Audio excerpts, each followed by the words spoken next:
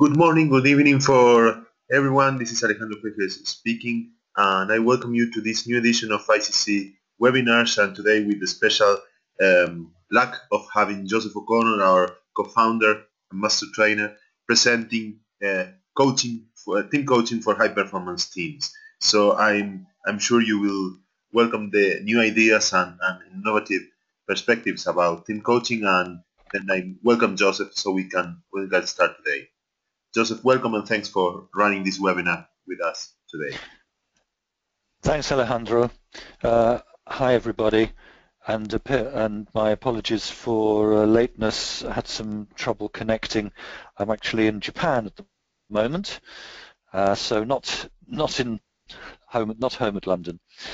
Um, so there there have been some problems. Anyway, uh, we're and we're going to be talking about uh, team coaching, which is a big subject, an important subject, a subject that is becoming more and more important in business as business switches more from individuals to teams to get things done.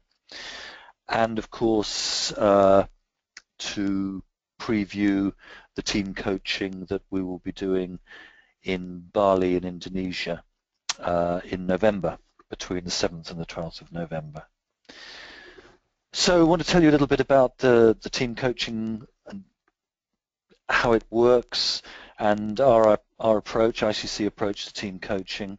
Uh, this, this training does have a European Quality Award uh, awarded by the, um, the European Coaching uh, Council. European Mentoring and Coaching Council. So, which means that it it uh, has the high, has passed the highest quality um,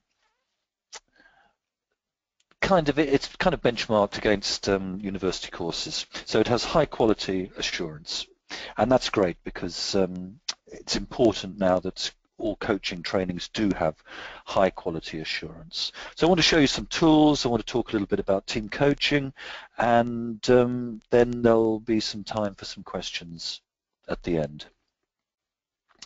So well, what is team coaching?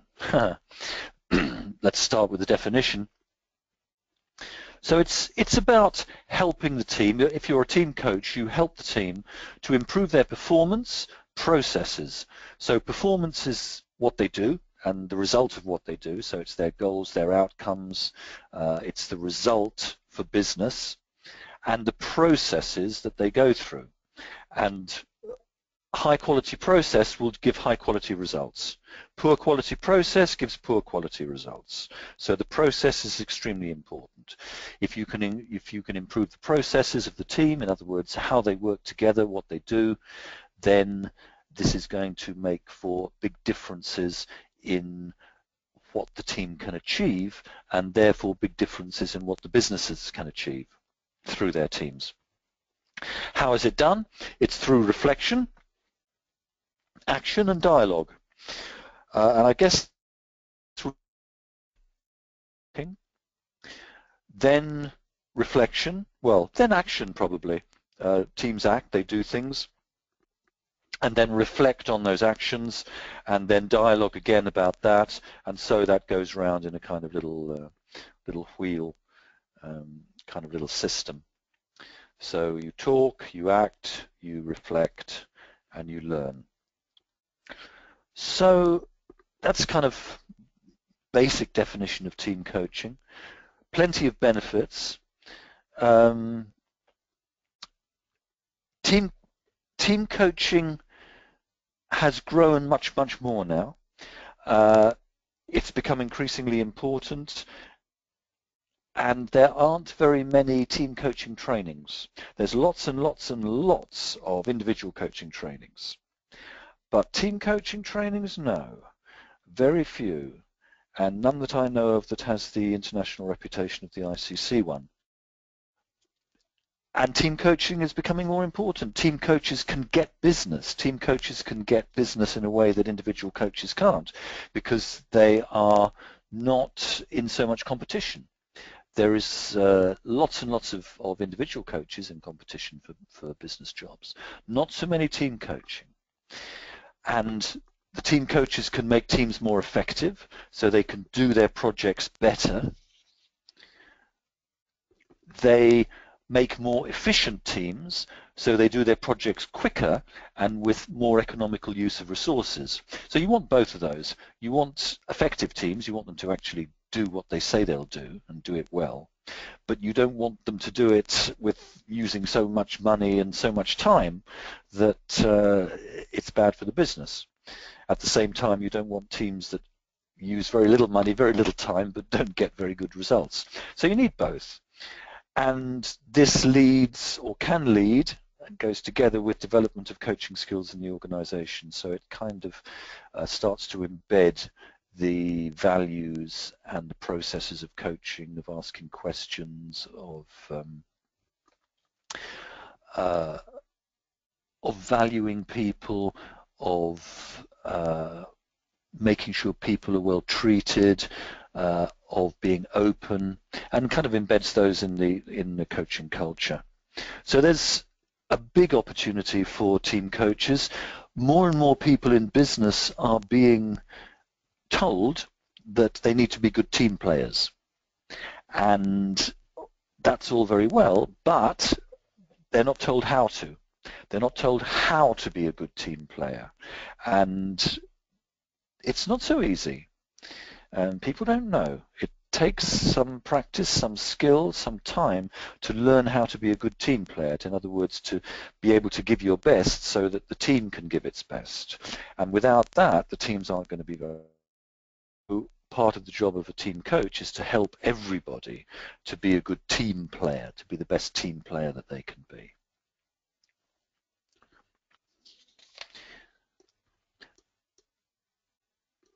So effective teams do a lot of things in business. They can help succession planning, they can be good for knowledge management, they'll be more creative. I've coached many teams, particularly with that value from management. Management wants teams to be creative. They want teams to come up with new things. Uh, in business competition is very great now and the advantage goes to those businesses that can come up with new ideas, new ways of doing things that can be creative. Creativity is a very, very valued resource in business.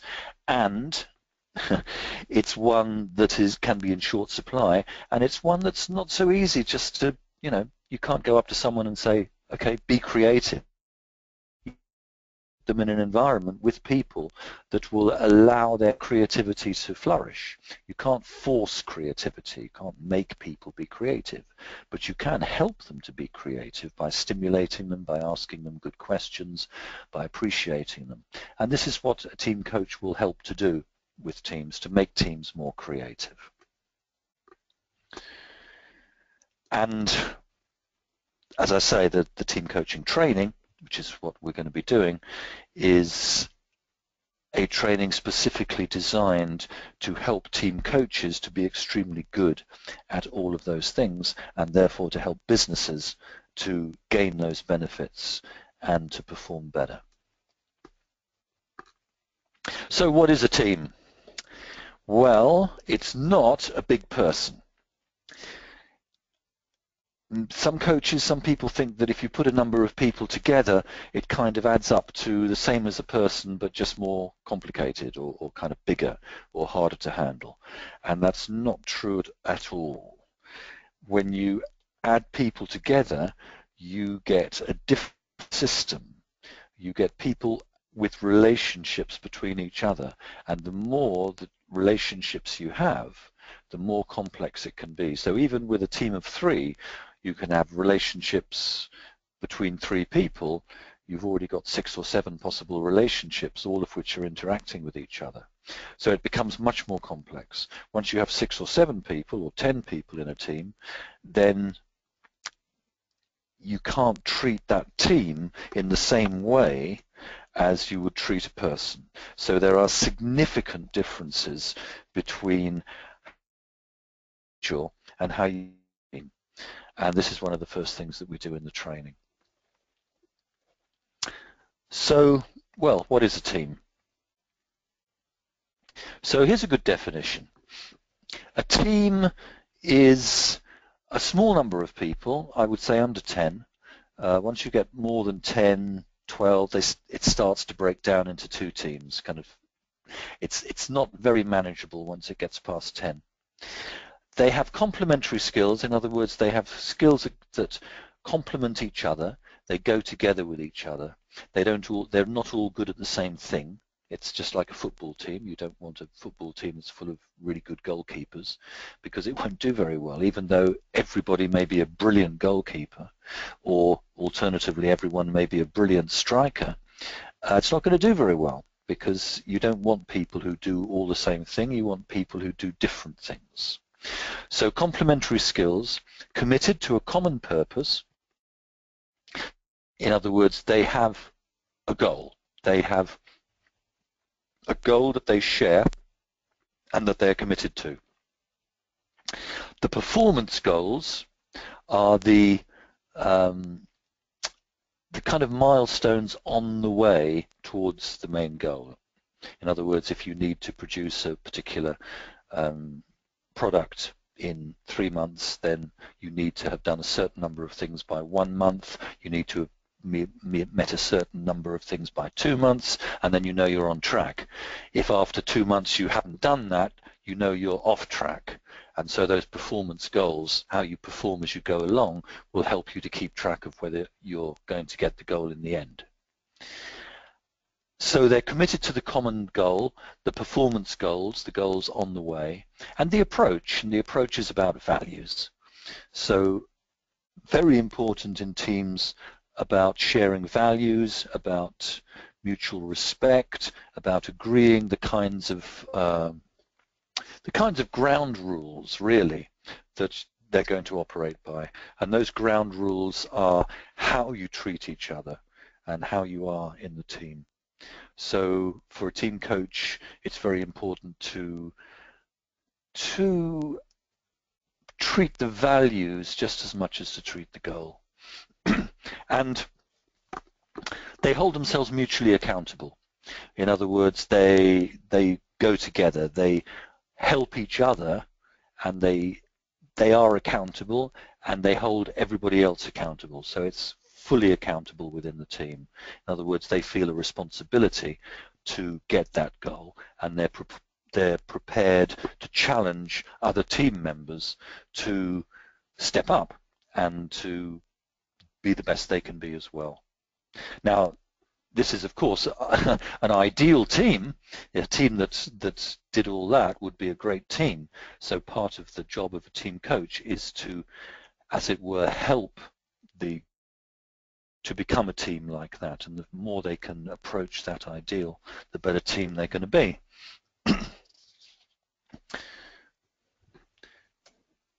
so a team is a system. And a system is a group of elements that are connected together for a purpose. And it's worth remembering that it's a verb. A, te a team is a verb, a system is a verb. In other words, it's a group that does something. It's always doing something. It's always in movement. It's always in process. And it's very difficult for the team to, as it were, run on the spot. So the team is either going backwards or it's going forwards because it has to keep moving. That's what a system is. A, the, the word system is a noun. It sounds like it's a thing, but it's not. It's something that has to continue to interact in order to maintain its existence, to continue in existence. So you've got to treat uh, a team as a, as a system, and that means then dealing with that kind of complexity. And in the training we do quite a bit of systems thinking, systemic thinking about what are the qualities of a system, how does a system work, how does it work in practice, and what kind of lessons can we learn from that in practice um, in order to help the teams work in the best way. So systems thinking sounds rather uh, kind of uh, almost mathematical uh, or kind of abstract, but it's anything but that. Um, it's about how people interact together. And of course, wherever there's thinking, there's also feeling. So systems feeling as well. How do people's feelings interact with each other and how do people interact and how do they feel about that? So there's plenty of emotion involved too. So there's different sorts of teams. Um, leadership teams like uh, boards of directors, departmental teams, managers that run departments, mid-management teams, action teams, teams put together for a one particular project uh, that's got to take action in one particular project, then maybe it's disbanded um, creative teams, teams that come together to create something or come together to continue to try and get creative ideas, which they then give over to the action teams. So there's plenty of different sorts of teams, just as sorts of, of uh, individuals for coaching.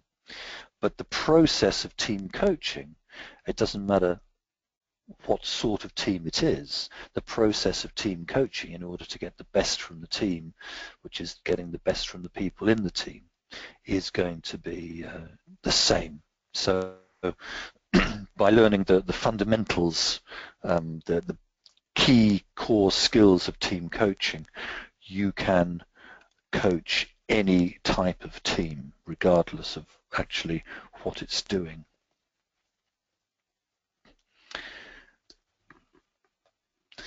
Virtual teams, these are now, of course, much more common. Virtual teams may, the people may be in different countries. Uh, you may never meet your team member in person.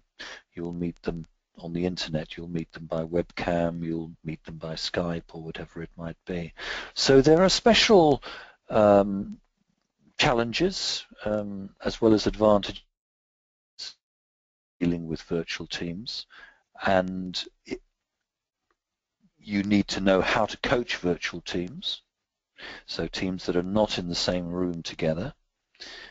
Uh, that's an increasingly important part.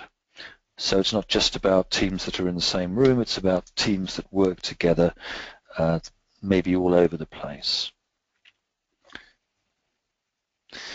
Different sorts of teams as well. You can have teams with membership that's unstable. In other words, you can have teams where the members are changing a lot of the time. And you can have teams where the members are the same over long periods of time. So for example, uh, unstable membership would be a team, um, a flight uh, cabin attendants, you know, a flight crew. So you go on an aeroplane and you'll have a pilot, co-pilot, maybe two co-pilots, uh, purser, cabin crew, six or seven people depending on the size of the aeroplane. And that's a team, and that team has to do things, and it has to do them very well uh, because flying an aeroplane and getting many hundreds of people from one place to the other is uh, an important job, and those things have to be done extremely well. But the team is never the same different pilot, different co-pilot, different people on the cabin crew. So the focus there is on the system of what they have to do, the goals that they have to accomplish, very much so. you can also have uh, teams that are unstable membership, but they also have changing tasks all the time. You know, not only do the team members change, but also the things that they do change all the time, like a SWAT team. You can also have teams with unstable, well, stable membership. In other words, the members stay pretty much the same over a long period of time. And you can have those teams that will do tasks that stay the same. So same people, same thing, day after day. They've got to do it well, but uh, that's pretty stable. Or you can have stable membership that has also tasks like a committee or a board of directors. Same people, but they are faced with different kinds of challenges all the time. So these those are kind of four main types of teams that you may meet, and it's useful to be able to know what kind of team you're going to be coaching. And of course, you also need to be thinking about if, if you're wanting to be a team coach in business. Um,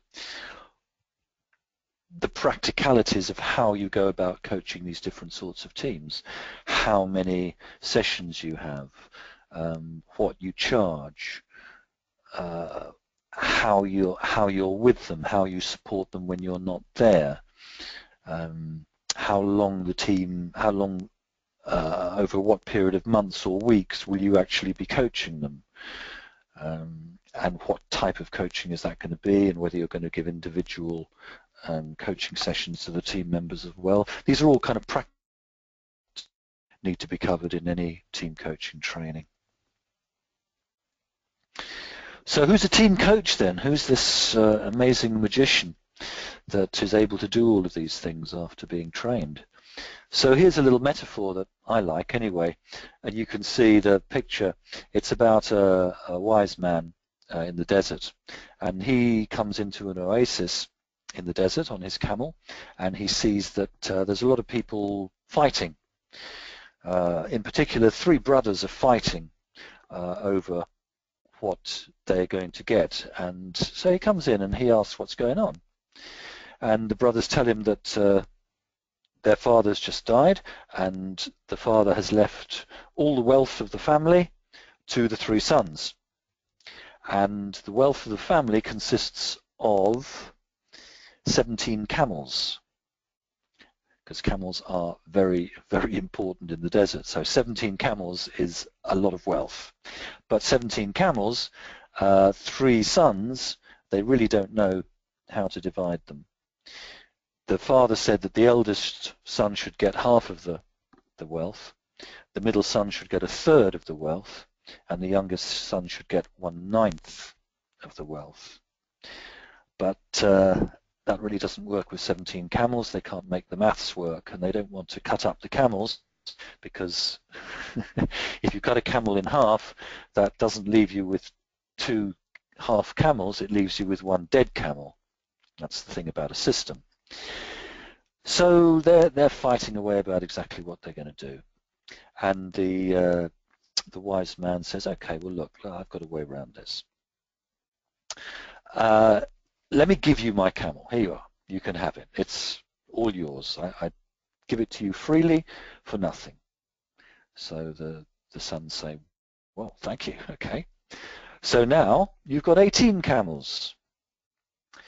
Yes, 18 camels. Okay. Well, the eldest son, you were going to get half of the wealth, weren't you? So, yep, said the eldest son. Yep, half of the wealth. Okay, so half of 18 is 9. So you get nine camels. So they measure out nine camels across to the eldest son. So he's happy. Middle son, one third of the world. So one third of 18 is six. So middle son gets six camels. He's very happy. And the youngest son, one ninth of the wealth. So that's two camels because there's 18 camels. So one ninth of that is two. So he gets two camels. So one son gets 9, one son gets 6, and one son gets 2. And that adds up to 17. So there's one left over. And that leftover camel is the wise man's camel. So he says, well, I'll guess my camel's left over. I guess I'll take it back if you don't mind. And um, I'll be on my way after you've maybe given me some food for settling your your problems. So I quite I like that metaphor because it's a good metaphor for a coach. A coach is, is someone who comes in uh, with with resources and, and with wisdom and gives that to people who may be in, in conflict or difficulty and conflict or difficulty, but loses nothing. Gives something, loses nothing, and then can just continue on their way, leaving happy people.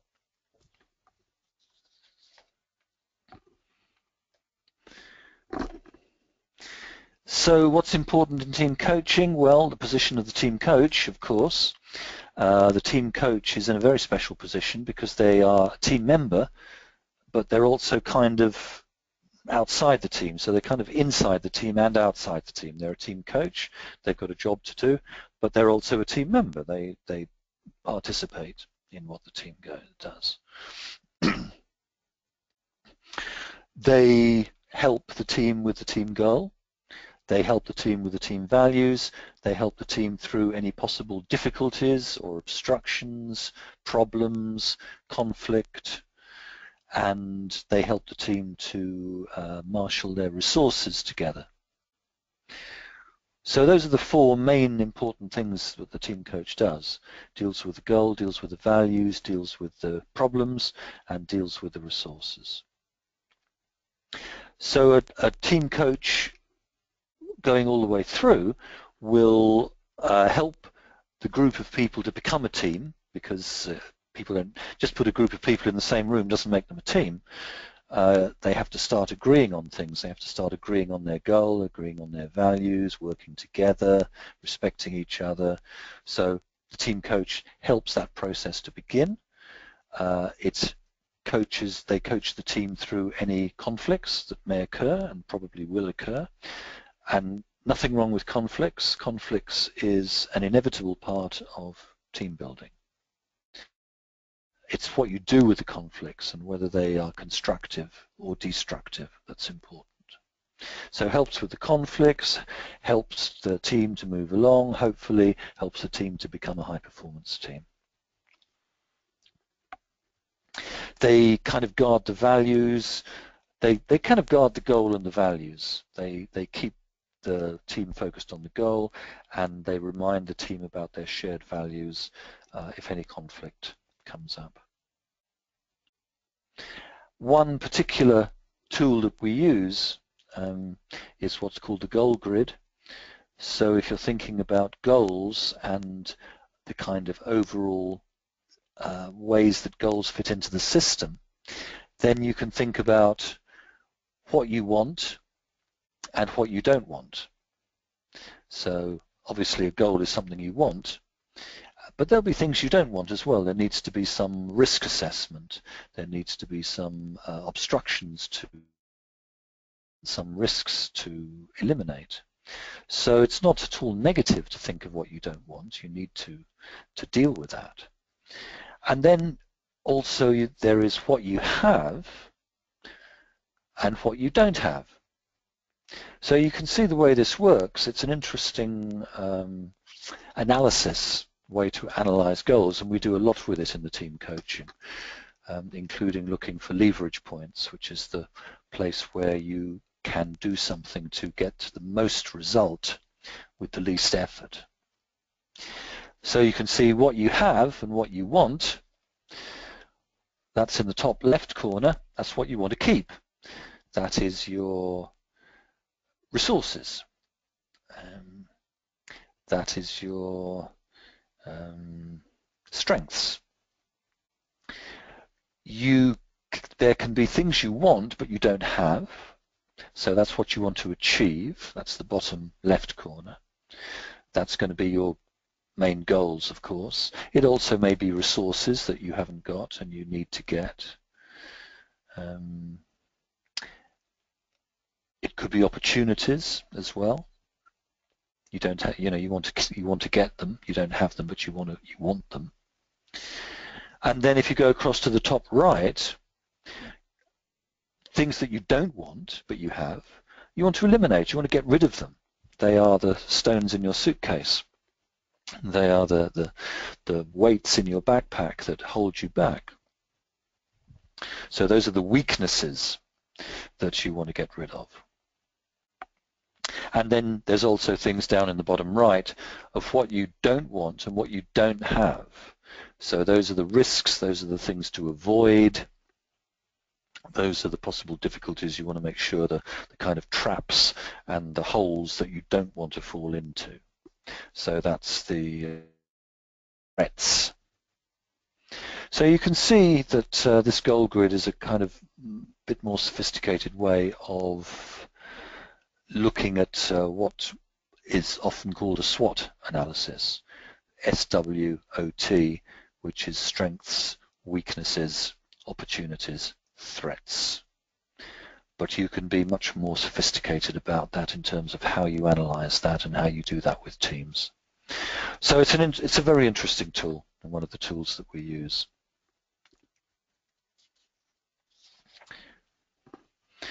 So what else? Stages of development, very important in a team. Teams go through stages in ways that individuals don't. So if you're coaching an individual, an individual is not going to go through kind of stages of, of being an individual as you coach them. But teams do. And you need to be able to change your coaching style depending on the stage of development. Creativity, being able to foster and uh, help the team to be creative to balance between task and relationship, in other words, to keep focused on the work, but also to have a good time, also to have a good relationship with each other in the team. Some teams get very focused on work, don't have a good time. Some teams get too focused on having a good time, they don't do the work. And, and neither of those is very helpful. So there's a balance there to be had. Uh, there's also important things about are you an internal or an external team coach? In other words, are you a team coach who is already inside the organization or are you a team coach who is hired from the outside in order to coach the team? And of course, all those things about high performance, this is what you're heading for. Uh, you want to make that team the best possible that they can be. And as I said, there is going to be conflict. Conflict means that people don't agree with each other. It may be about the goals, it may be about the values, it may be about the roles that they have, it may be about uh, they just don't feel very good at the time, they kind of get angry or um, anxious or different sorts of feelings can come up and the team coach needs to be good at that, needs to be able to deal with conflict and be able to resolve it in ways that help the team to move forward and not in ways that help the team to kind of destruct, self-destruct. So that's quite important and we have, we'll learn quite a lot of uh, ways that we can do this to make sure that conflicts are dealt with in a good way and to keep them from blowing up because you don't want a conflict to blow up and blow the team up. You need to get it before that happens. Emotional space, um, let me say a little bit about emotional space because I think it's something quite interesting. Uh, emotional space is how the how you arrange yourself in space, the distances between people and the kind of relationships between people in space actually reflect their relationship. In other words, uh, people who don't like each other, we tend to say that they're distant, right? Uh, people who do like each other, we tend to say that they're close. So how close and how far away people are from each other can give you clues about how they stand with each other, how they feel with each other, and how the team disposes itself, sits down, uh, whether you have a table or whether you have chairs or how you sit. It's not random. There are patterns. There are patterns of how people sit and how they like to sit and where they want to sit. And there are patterns that work and there are patterns that don't work it's good for the team coach to be and there are places where it's not good for the team coach to be. So understanding that use of emotional space is something that's very interesting, uh, very important, and uh, I don't know anywhere else that is teaching that with regard to team coaching. So if we're talking about emotional space, then individual space, you have the intimate space, uh, which is close to the person.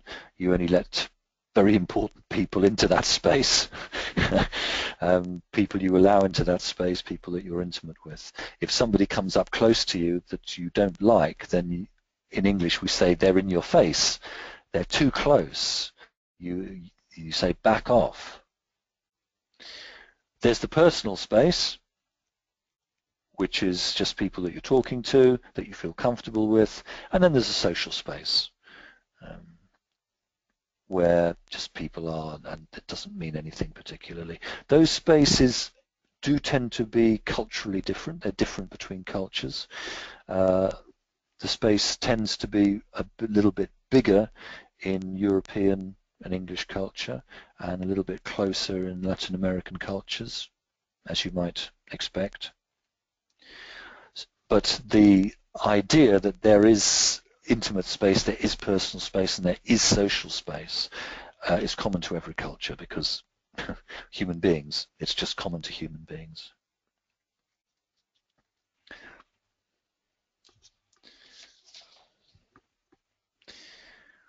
So the whole idea in the end is to be able to be a coach that can create a really great high performance team. And our team coaching course is experiential. In other words, you do a lot of a lot of work in teams. It's not just teams. You actually learn by doing it in teams. So you're living it. You're you're you're learning how to, to build teams, you're learning how to coach teams, and you're learning how to be a good uh, member for teams, team member. So that's uh, kind of very quick tour of uh, team coaching, very quick tour, just kind of the big picture really. Um, so open for any comments or questions uh, that anybody might like to come up with. Uh, either you put up your hand and, and if it's possible Alejandro will will plug you in and you'll be able to, to say the question out on air. I can answer that. Or you can put up your hand, you can uh, write questions in the question box and uh, Alejandro will read them out to me. So over to you with regard, anything with regard to what is a team coach, how, how the training works, what you can get from the training, benefits of team coaching, anything like that. Many thanks, Joseph. So we have just the, the first questions arriving. Um, mm -hmm. I go for the first one from Mara. She's he or she is asking, when we are new as a leader in a new team, how can we know their values to guide them to make decisions according to them? Uh, you you can't know it in advance if you're a team leader and there's an existing team and you're put in as a team leader. This is a very difficult actual it's very very difficult situation because the team know each other already they've worked together already they've probably worked out their values. And then you're coming in. If you're supposed to be a team leader then you are you have some authority. Uh, so there's a tendency for you to be regarded as the enemy at the beginning because you're, you're, you're coming in. It's just like any group. You imagine a group of people and then someone new comes in. Um, you know, you're not going to be accepted straight away. So you need to tread quite carefully. Uh, and you, what you need to do is to find out what the team's doing, what the team values are, how the team is working. Be very accepting, first of all, very listening. Listen carefully don't try and impose anything. Find out what the team is like, what what they're doing, how they think, and then once you've done that and you've started to be accepted because you haven't been throwing your weight around, then you can start to work more with the team. And if they see that you are really listening and you, you really want to be part of the team, then they are much more likely to accept your leadership uh, and your authority. Thanks, Joseph. So thanks to everyone for, for the questions we are receiving and there are several ones.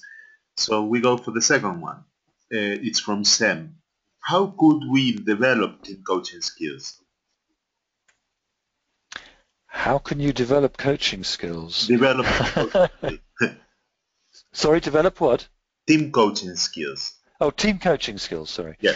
Um, well, the, the quick and easy answer is come to the training, come to the ICC training.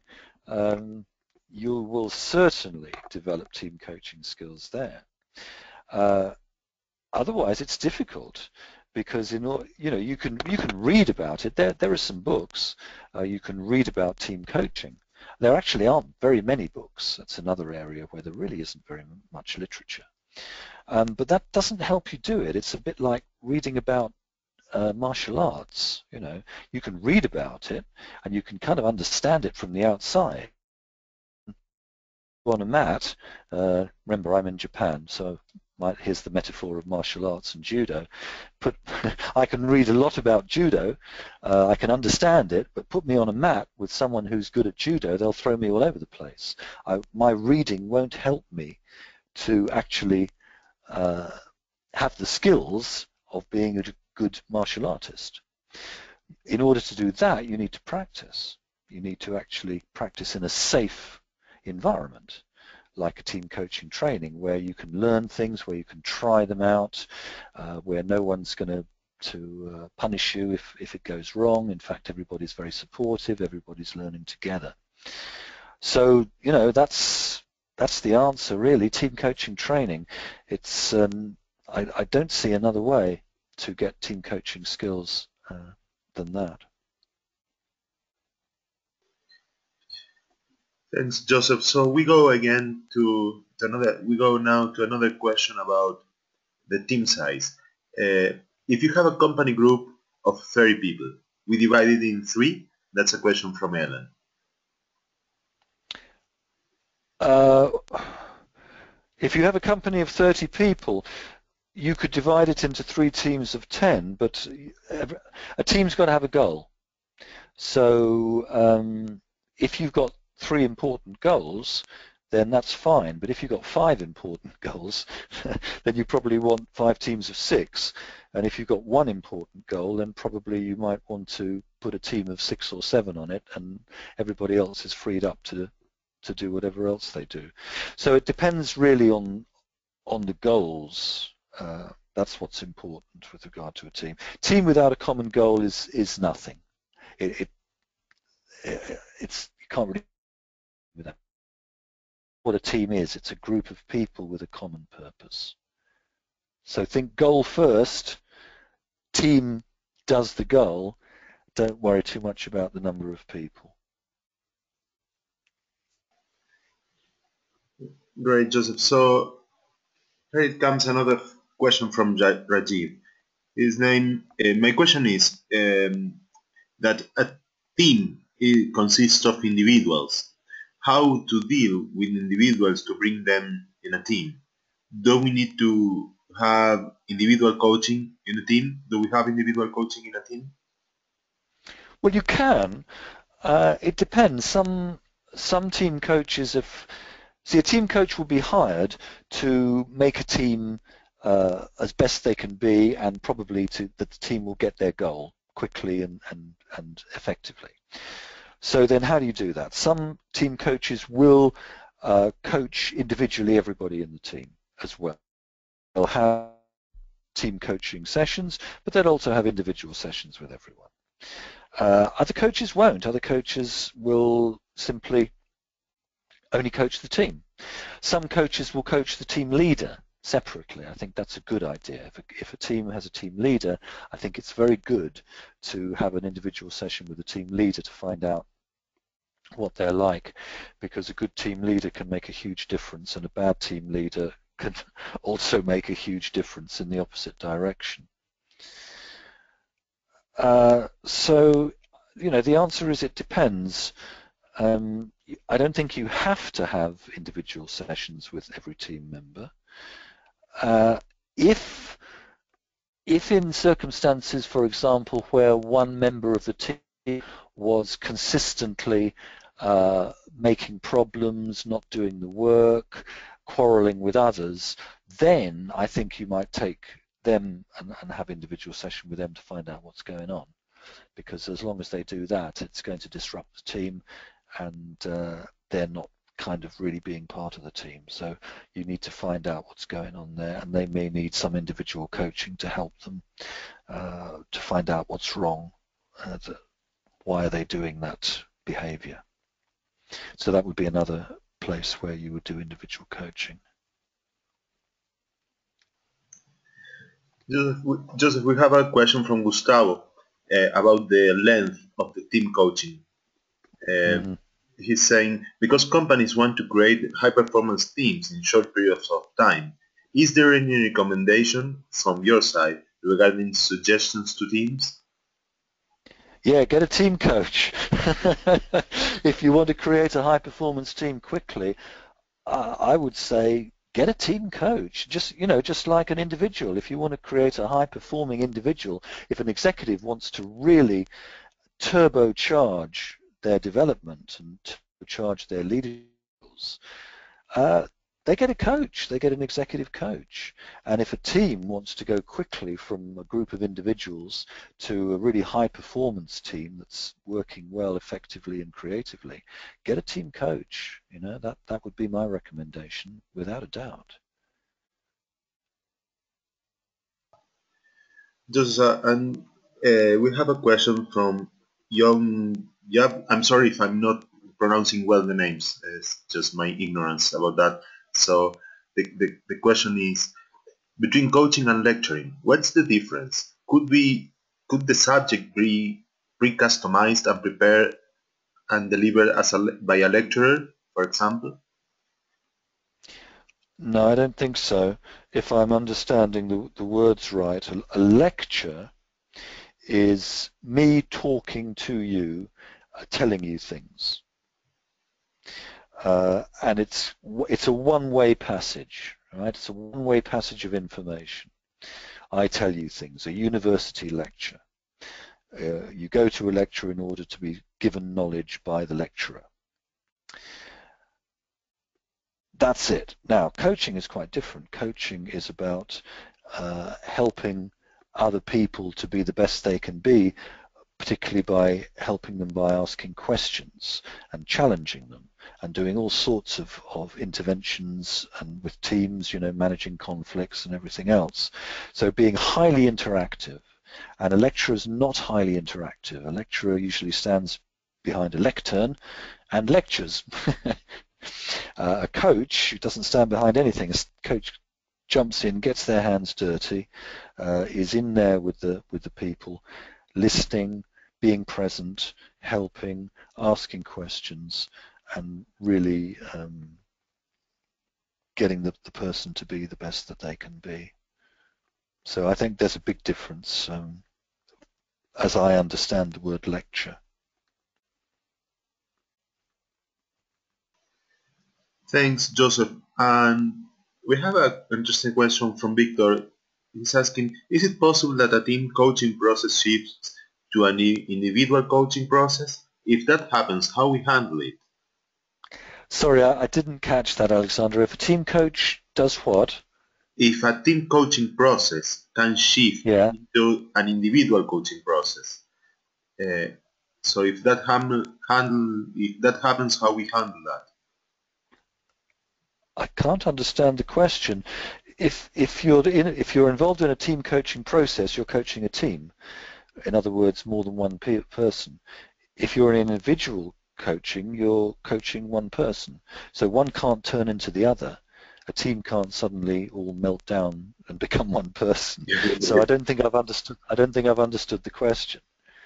So Victor, if you want to, uh, given what Joseph say, if you want to re reframe the question, we are open to read it again. So um, let me go for another.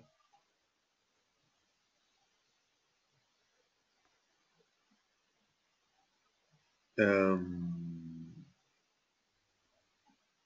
just a second. Ah, here's one from Birgitta She's asking, what knowledge do you need to enter the team coaching training? What knowledge? Um, well, I'll tell you what's helpful. Um, it's helpful to to have some knowledge of coaching. Um, if you've already done some kind of coaching training or you have some knowledge of coaching or you've done some coaching, this is great. Um, so that's one thing. It's good to have some experience of business because most team coaching is in the business context. Um, some kind of experience with groups, uh, either as a teacher or a trainer or or someone like that, used to to deal with groups. Uh, so all of those things can help. Um, I, I, don't think any of those any of those things are absolutely, you know, well, put it this way. Um, if you're not a coach, you could still come to the team coaching training, but you would need to have some kind of uh, knowledge and, and skill from some parallel profession management, consultancy, training, teaching, something like that. Something that, that gives you communication skills um, and the ability to deal with people. Otherwise, well, you know, you're not going to do, you're not going to get on well in a team coaching training. So those are the sort of things that you need.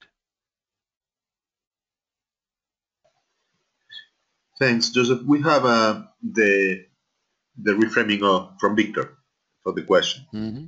Okay. He's saying that in the process you might find problems produced by someone in the team and then he's asking if it's advisable to coach this person, this individual personally, if the team coach can go personally with this individual. Uh, yes, yes, no, that's fine. Um, as I said before, uh, if you're doing team coaching, it's quite possible to take out any individual and give them individual coaching, usually the leader, sometimes someone who's causing trouble, or uh, sometimes you just coach everybody in the team individually just to, to help everybody along equally. So yes, that's fine. Great, thank you. And then I think we, given the time, is it okay to do one more question? Yeah, one more question. Okay. Um, just give me a second. yeah, sure.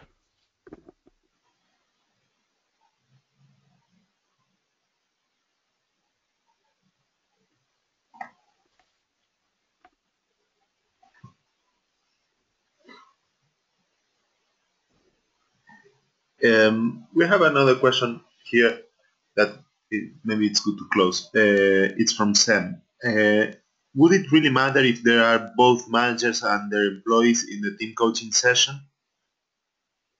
No, I don't think so. Uh, usually you get a mixture in any business team anyway. Uh, the only problem there might be some if there are some managers who are more superior uh, in authority, they may find it more difficult to work uh, with others in a team because they feel kind of superior. That's the only possible difficulty. Um, but no, it's it's often a mixture and it, it works fine. Great. Um, Joseph, we have, I don't want to read one by one, but we have several questions about the, up, the upcoming team coaching training.